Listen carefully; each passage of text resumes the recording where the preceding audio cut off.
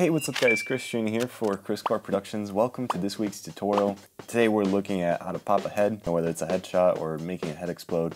It's all pretty much the same thing. Now the clip that we're going to be using is from a video released last week called Call of Duty Black Ops 3 Zombies in Real Life. And you guys have been sharing with your friends, you've been showing it a lot of love and I really appreciate it. Uh, if you haven't checked it out yet, go ahead and check it out. But uh, let's jump into this tutorial and let's uh, look at how to pop a head.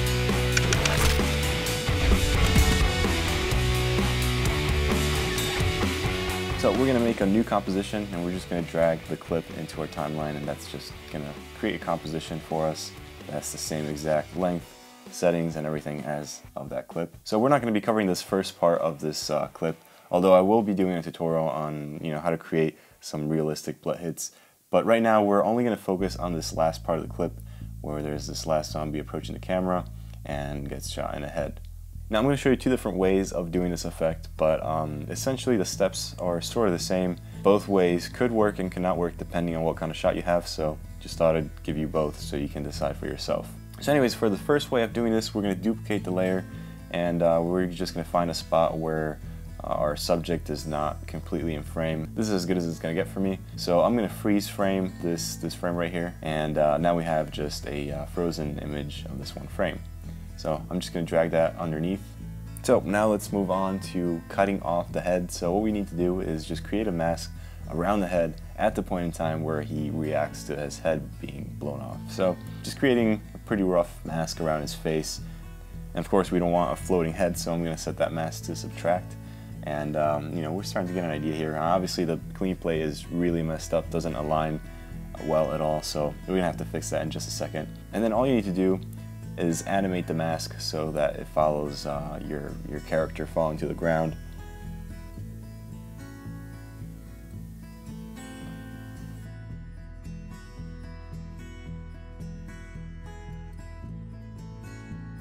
So I did a pretty terrible job, so I'm just readjusting real quick. But anyways, as I'm scrolling through here, uh, you're obviously seeing that there is quite a bit of an issue with the background not matching. We're going to fix that in just a second. And that's the part of the video that sort of splits off into two different ways of doing it. But we're noticing something else. We're seeing that the hands are sort of going in front of where the head is, so we need to mask the hands as well.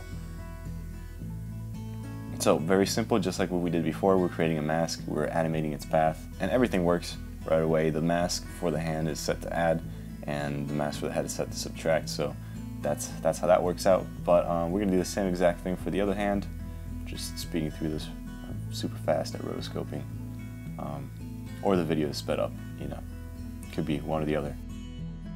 Then we're going to feather out the mask just to make it blend a little bit better.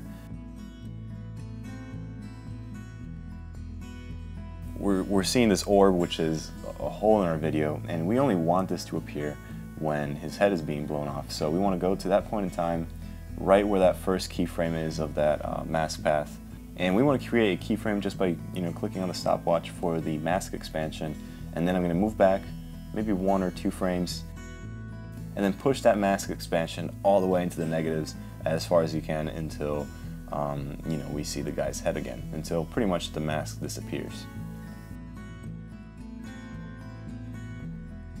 So as I script through this, you can see that the mask sort of pops on and uh, that's exactly what we needed. So now we need to move on to the more complicated and possibly confusing part. I mean, well, it's not complex and it's not that confusing, it's just a little tricky. But you'll see why in just a second. So the first way of doing this is that we're gonna pretty much just drop the opacity of our top layer, which is just our normal footage with the mask that we created. And um, by dropping down the opacity, we're revealing the bottom layer, which is our clean plate. Now with the clean plate selected, pretty much you just want to move it around until it roughly matches with your other footage. Now you can take just the geometry in your scene as a way to reference where your clean plate needs to be placed at what height. And again, this is sort of tricky because, because like in my situation, it's not just moving laterally or up and down. This was shot on the Ronin M, so I'm also moving back, uh, panning just a little bit. So it becomes problematic because our shot is a lot more three-dimensional than just having a camera being handheld or moving up and down. Once we've uh, found a good place for it, what we want to do is animate the position of our clean plate. So again, just keep the opacity down so you can uh, get an idea of where your clean plate needs to be in relation to your background. Now, of course, you can track it instead of just repositioning the clean plate every so frames, but in my case, it wasn't quite working because, you know, the lighting is pretty dim, the background had a lot of noise, and my tracker was just not doing a proper job, so I decided to just go the manual route, which oftentimes can do a better job depending on, on the shot. Now I know what some of you are probably thinking, why didn't you pick a better clip? This is a tutorial, come on, get more professional here. What are you doing with your life? But the reason why I decided to stick with this clip is because this is not just a tutorial, it's also a breakdown of an effect I did from that uh, Call of Duty video. So I just wanted to show you guys every aspect of that and I'll be breaking down some of the other shots in the future videos. And by the way, if you're seeing annotations on the bottom of the video popping up here and there, um, there are actually links to other tutorials that I've done in the past that are actually just about that one specific tool inside of After Effects. So soon we'll be looking at the 3D camera tracker in After Effects and other functions, and you're gonna see annotations pop up that link you to tutorials about just that one specific part of the program. And I'm doing this, and I probably will be doing this for the future videos so that, you know, in case something is a little bit too confusing, you can take the time to watch other videos, and uh, this way, you know, everybody's at the same pace and can follow along. Now I'm just making some quick adjustments. It doesn't have to be perfect, uh, at least in this example for a couple reasons. Number one, it's just one hole out of the whole image and it will be covered in a bunch of blood squirting up. And then the other reason is that this is such a quick shot that his head bursts and then we pan away. And that's a terrible thing to say. I know that's not an excuse for uh, lazy editing, but honestly, when it comes to visual effects, the sooner you cut away from it, the more realistic it's gonna be. The more you linger onto that shot, the more the audience has time to realize how fake it is. All right, so now let's take a look at the second way of doing this. And we're not gonna be repeating all the steps. You know, we already cut the holes, we already did all that. Um, what I'm showing you is just a second way of dealing with adding a background back into the hole that we cut in our footage. And this time we will be tracking, and I know I said just a few minutes ago that I wasn't able to track it. Well, I wasn't able to 2D track it, but I was able, with a pretty useful trick, to 3D camera track the scene. So before we do any tracking of any kind, we need to make it a little bit less confusing for After Effects to understand this scene. So what I'm gonna do is mask the clip that we're gonna track, and uh, I'm gonna mask out the subject from this clip. And the reason why I'm doing this is because all of this hand movement that he's doing and him falling to the ground can really mess with After Effects. When it comes to the program understanding distances in the space of your shot, we're gonna just pretty much get rid of the subject from the scene so that we can let the program just focus on the environment. And then another thing that we need to do in order for this to work is we need to pre-comp this clip. If we just apply the camera tracker on this clip, Without it being pre-composed, it's gonna ignore the masks. And it's important to click on Move All Attributes into the new composition. Click OK, and now we have a pre-comp. And we can just cut this. I'm hitting Shift Command D just to sort of splice it and do the same thing for where the effect ends so that we can uh, then apply the 3D camera tracker to that one portion of the clip. So it's gonna do its thing. It might take a while depending on your computer. I personally have a super fancy computer, either that or the video is sped up, I don't know. So it's gonna solve all of that data for us and it's gonna leave us with a bunch of colorful dots in our scene. And those are all the tracking information just pretty much laid out in 3D space. You know, when you think about what this tool actually does, it's pretty incredible. Um, okay, I'm not gonna just have a fanboy After Effects moment here. Let's, let's keep it going. Now the only points that we're interested in are the points all the way in the back of our scene, sticking to the back wall. And that is because most of what we see through the hole that we cut for the head to pop will be just that back wall. Now we're gonna be seeing a little bit of the column, uh, which is why ideally what you wanna do is sort of recreate that geometry in 3D space. So now if I select all these points and I right click on them, I can say create a camera and also create a solid that is positioned exactly where those points were. Okay, so I just uh, took a few seconds to clean this up just a little bit. It was getting a little bit too messy. Right, so once again, we're gonna create sort of a clean plate. So we're duplicating our, our footage, but this time we're making it a 3D uh, layer. So what we're gonna do is copy the position from that track solid, paste it onto that layer, then scale it up and shift it to the point that it matches uh, through our hole here. So it's pretty much similar to what we did in the beginning. We're just doing the same thing but with a 3D layer. Um, and we don't have to animate the position because as I scrub through here, you can see that it nicely fits our scene since it's a 3D layer in a 3D track scene. All right, I hope I didn't lose some of you guys, but we've managed to get past the boring part of this tutorial, and now it's time for the fun part, which is adding all those bloody assets and elements and uh, creating some gory goodness. I'm gonna be using Action Essentials 2. I've mentioned this a ton of times, and most of you already know what this is. But instead of doing the usual, just dragging and dropping a bunch of blood assets, I'm gonna show you ways of using assets that are not normally associated with this type of effect but now instead of just doing the usual, just dragging and dropping of blood assets and just making it look like every other effect on YouTube, which I don't know about you guys, but whenever I see Action Essentials 2, I can immediately spot it and that can get pretty distracting for a viewer that knows what that is.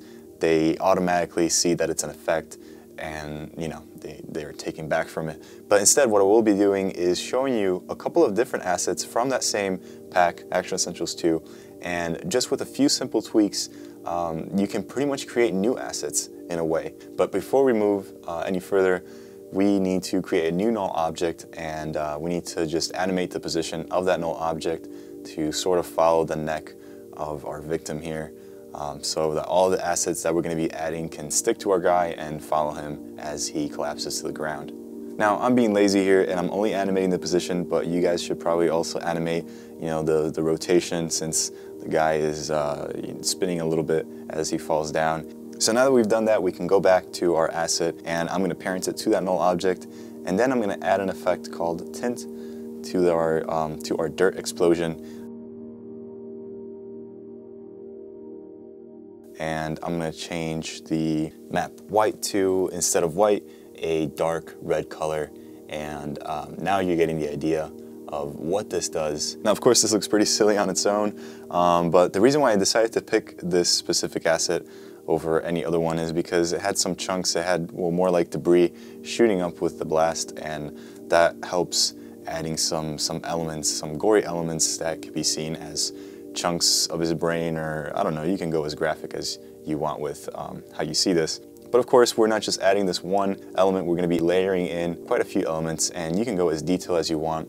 Then we're gonna add some directional blur and it's, it's always good to blur out your assets, but this one in particular needs a little bit of directional blur since we have this stuff shooting up uh, and you know most of these assets, assets from Action Essentials 2 or most assets online are shot at really high shutter speeds, a little bit slower than usual so you can get all that crisp detail. So it's our job as compositors to crapping that footage down to match with the footage that we shot. Crapping, is that a word? Make it, make the footage, make, make the elements look crappy. I don't know, it's a word now. So anyways, you know, it's important to remind yourself that everything that you shoot isn't perfectly sharp and you always need to check back whether your assets match uh, with the blurriness or sharpness level of what um, they're being placed on because that might not be a dead giveaway of effect being an effect but it definitely adds to people understanding that it's not really in your scene. And then finally I'm going to show you a third type of asset that you can use from these types of libraries um, to use as blood that aren't really intentionally made to be used as blood and that is some bouncing debris. Um, I've used this quite a bit in, in this video and that is because when I was watching gameplay footage of Call of Duty Black Ops 3 whenever you do headshots, you really see that head and chunks just flying out. And um, what I did is pretty much the same thing as all the other effects. I added this bouncing debris asset. I created a mask so you don't see the parts sort of laying on the ground. And, uh, and then I just added that same tint. But instead of using the directional blur, I used a radial blur. And instead of leading it to spin, I set it to zoom so that it matches with the type of movement that it has. And then of course you can add some actual blood assets into this whole gory mess. And as you noticed, I only just sort of threw in one layer out of all these categories, but you can go as detailed as you want. You can add as many layers of blood, of dirt shooting up, of dust, of puffs, of whatever, and that will add some realism and some detail to your effect. But this is just an example just to show you what you can do with different assets.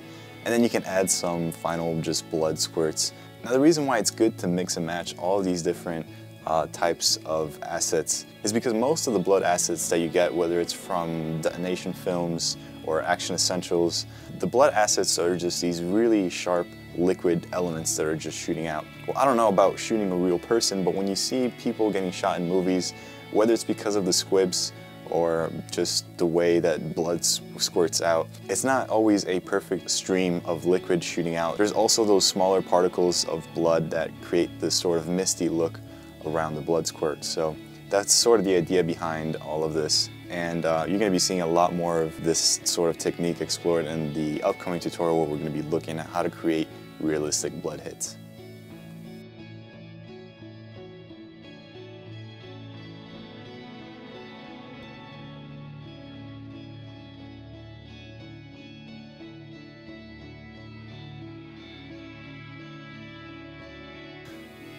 And then I added some blood squirting up as the guy's falling down so that, you know, there's probably some severed veins or something there that's just squirting up this, this blood as this guy's falling down. Anyways guys, that is it for this tutorial. I hope you learned something new from this. I hope it was useful. And I hope you now look at your asset libraries in a completely different light, knowing that you can mix and match all these different assets to pretty much fit in whatever effect that you're doing just by adding uh, some effects to those assets. And we've just scratched the surface here. In the next tutorials, we're going to be looking at different effects that you can add to a bunch of different assets um, to make them look completely different, um, you know, saving you a ton of money so you don't have to buy more and more assets and you can just pretty much mix and match and um, use the same ones over and over again for all kinds of different effects. Anyways guys, if you haven't checked out the original video from where this clip is from, Call of Duty Black Ops 3 Zombies in real life, uh, please do share it with your friends or share this video. It all helps and I really appreciate all the love that you guys have been showing me and all the support. I'm super thankful. But anyways, before I start to make this into a speech, I'm gonna end it right here. My name is Kris Truini for Kriscoart Productions and I will see you next time.